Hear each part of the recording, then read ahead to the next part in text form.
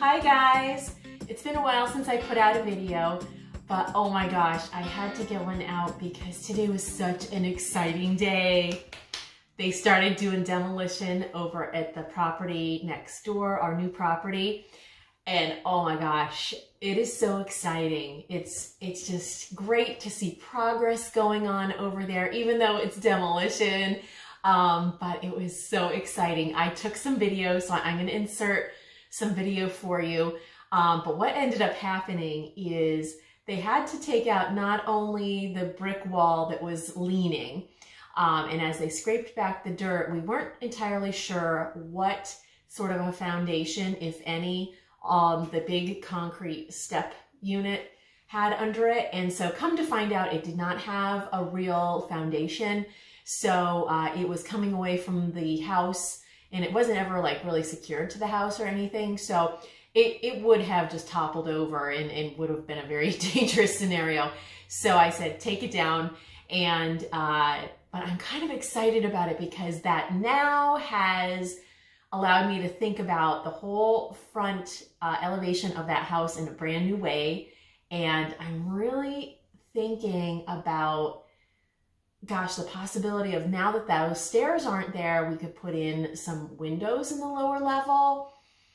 Um, you know, I kind of was tossing around the idea of do we still want to have the front door up there? Um, but I do want to have that because it's good to have two forms, two areas of egress from, you know, the, the upper level of the house. There's sliding glass doors that go out to the back, and then there's that front door that comes out to the front. And then there's sliding glass doors down on the lower level in the front. So I think what we're gonna probably end up doing is taking out the sliding glass doors, I think, and putting in some nice, really good quality French doors that you can lock. Um, and then for the upstairs door, I do think it's wise to keep that. But one of the guys suggested, hey, what if you just did a, a nice metal spiral staircase. And I think that would be so cool because my whole vibe that I want to create over there is more modern style. Um, because what we're going to do is uh, we're going to have the foundation that's all exposed. That's going to be power washed off and that's going to be painted a really dark gray as well as like the eaves of the house and all the soffits and around the windows and the doors. Everything's going to be painted a dark gray. So it's going to look dark and like more solid and I think I think more clean and contemporary. So I really am thinking that that's a nice black steel uh, spiral staircase that has treads that um, are open.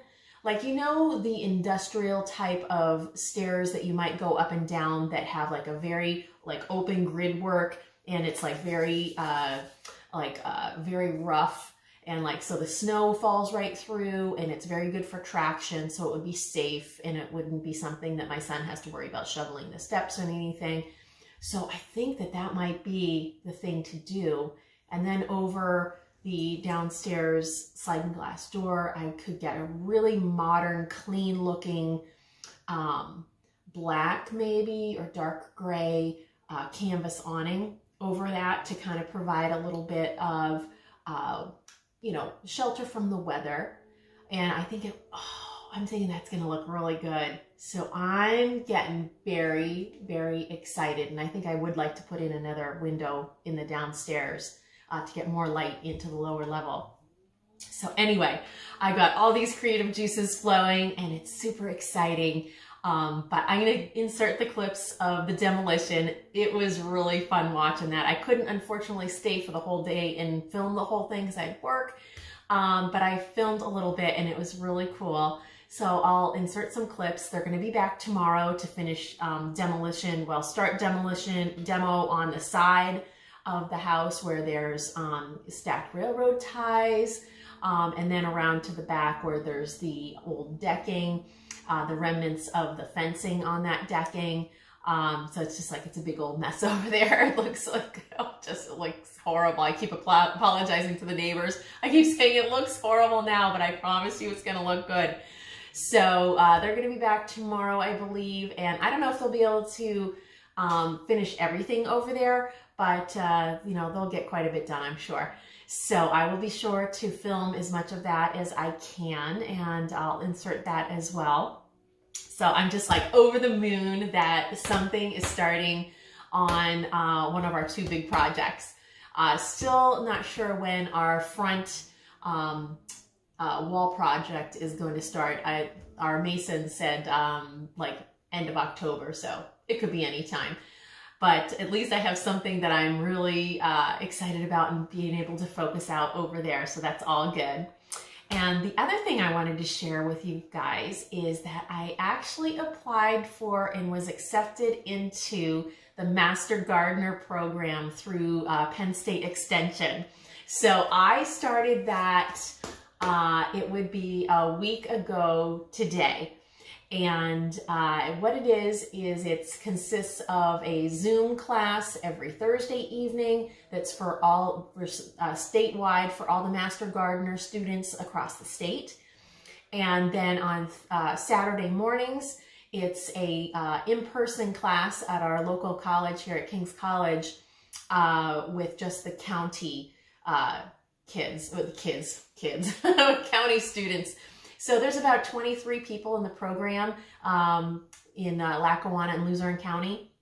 And oh my gosh, last Saturday we met in person for the first time and did, uh, you know, some fun kind of games and introductory botany kind of things uh, to get to know each other. And oh my goodness, I cannot tell you how many, every single person in the class is super interesting so so many cool stories and what they do and what they're interested in and just amazing amazing people. So we've got an awesome master gardener class for the class of 2023 so uh, i'll let you know more about you know what we're doing with that as this goes on. But last week's um, topic was um, was botany. And that was pretty intense. There's a lot of information and they kind of apologized uh, that they had to throw so much at us in depth right out of the gate. It was like the hardest chapter was the first one.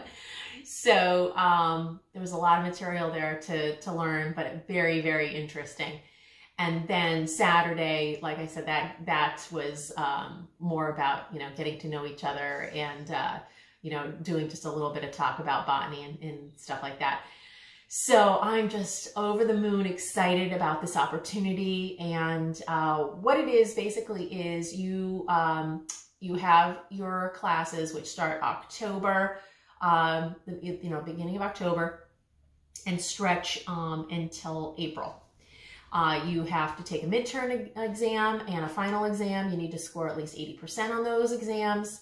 Uh, and then you also have to uh, devote 50 hours of volunteer work to Master Gardener uh, programs. So uh, it's real heavy on community and educational type of stuff. Uh, so I'll be sure to let you know about those things when I get to that point where I start doing my volunteer work to get my hours. And then once I complete those 50 hours, um, I will receive my Master Gardener's uh, certification. And then after that, every year you need to do um, continuing education and uh, I believe it's 20 hours of community service, uh, you know, specific um, master gardener work uh, to maintain your designation. So I am just really excited about this opportunity and meeting all these really cool new people. I mean, oh, it's, it's very, very exciting. So I have to go though, because my class is starting in five minutes, my Zoom, statewide Zoom class. So I have to get online and get logged in and I will keep you guys posted as to what tomorrow brings for the demolition project on the new property. So, all right, guys, I will talk to you tomorrow. Bye.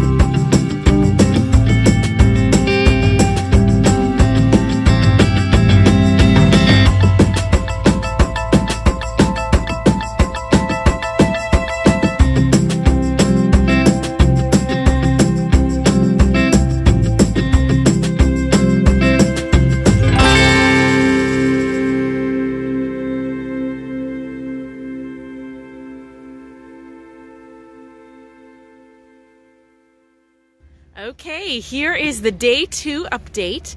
They have uh, dug out on the corner here.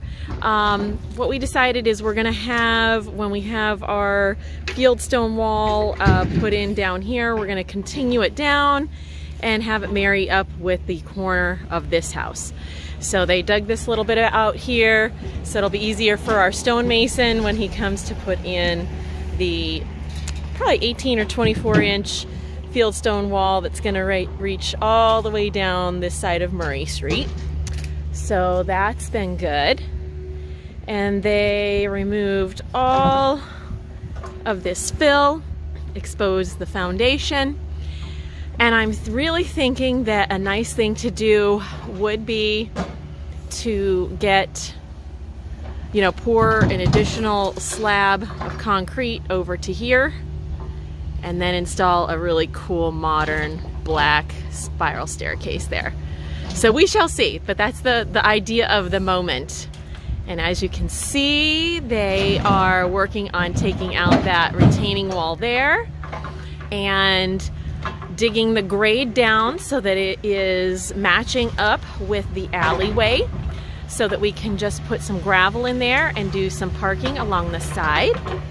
So I'm gonna walk around and give you a little bit better view. Just have to watch traffic here. They've got their safety cones up and everything like that and blocked off the sidewalk. But we're definitely keeping this Japanese maple. So they're being careful of that.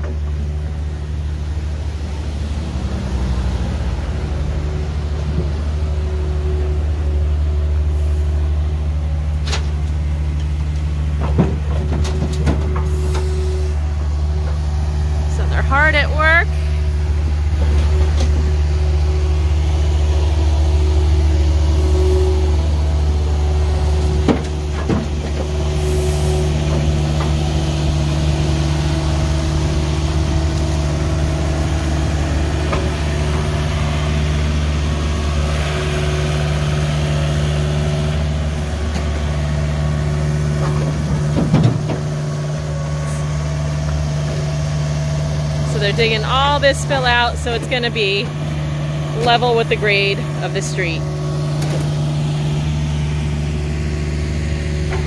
And this is the state of affairs back here. My son Kane has jumped in to lend a hand.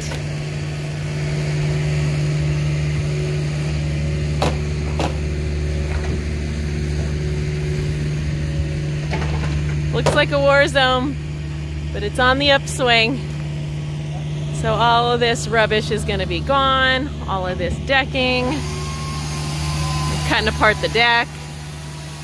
And they're gonna remove that little cabana and we're gonna try to keep that.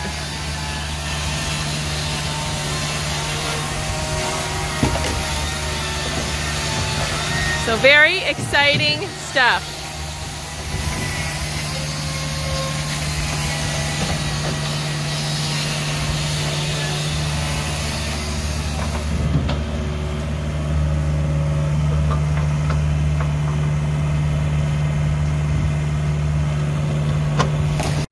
back for another update. This is looking good. The retaining wall is gone. They're working on grading this out and this is where we're just gonna put gravel so we can have some parking here. Let's see what the boys are up to.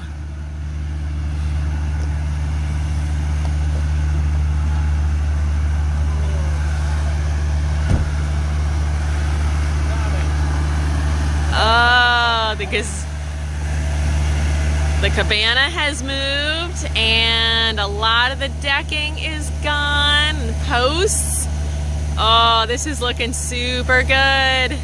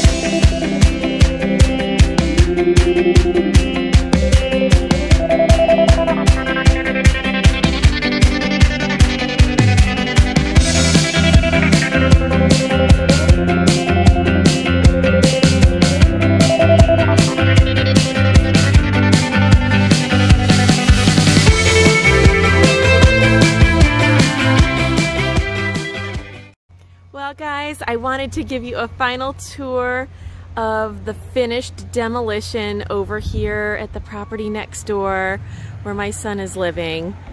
Oh my gosh, it looks so good. Oh my goodness. They pulled out all of the, I apologize for all the noise in the background. They're doing some big time construction up the street.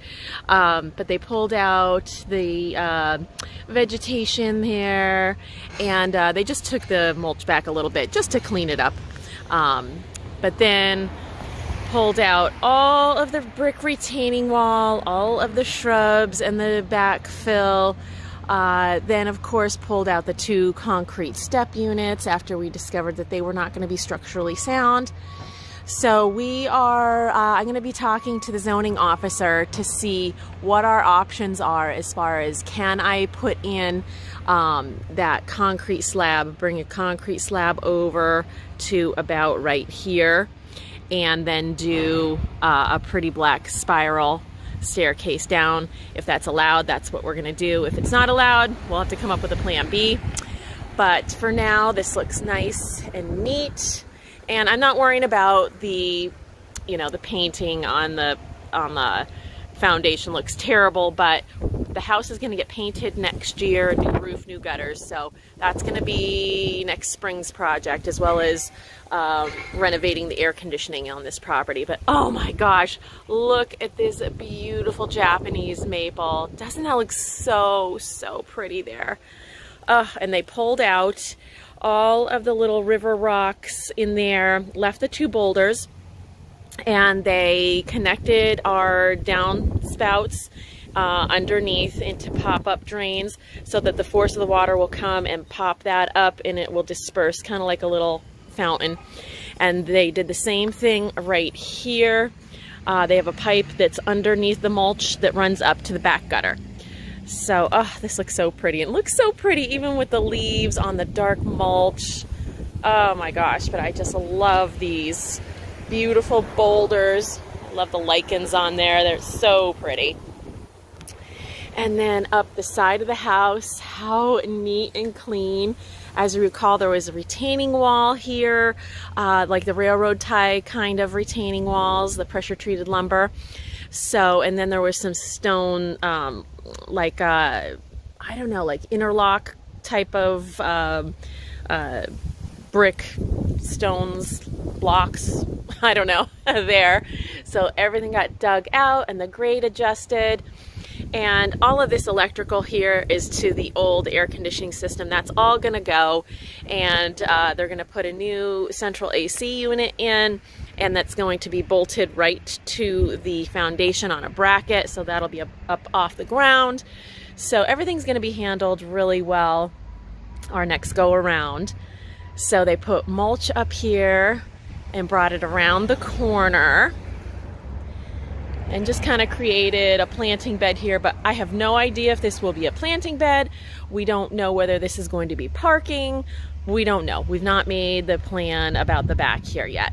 But what is uh, remaining is we did keep this cabana and it's it's not gonna it'll stay here for the winter just so that it won't blow away but we'll try to incorporate this into the new design somewhere in this yard um, and then we did keep this concrete step unit and this concrete pad for now, uh, but that will not be part of the original or the the uh, ending plan. Uh, we'll probably have something coming straight down off of the sliders because this actually only comes up to half of the slider. See? So that's just not ideal. So we probably will have something coming straight off the slider. But for now, so that uh, our son can get in and out of the house um, and it can be neat and clean, we just left those two items.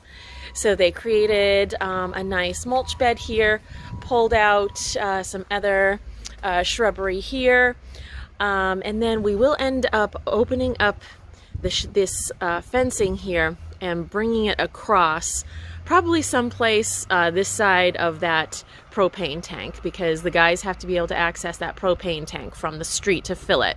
So probably just this side of that propane tank. We might end up losing that little bush there. It's kind of no big deal anyway. Um, and then this will all be opened up and this will all get reworked.